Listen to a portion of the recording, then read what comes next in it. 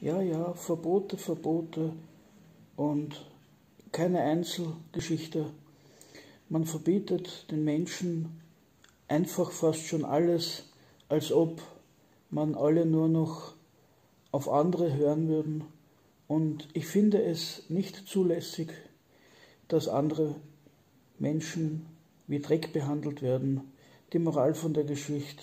Irgendwann reicht es den Bürgern auch.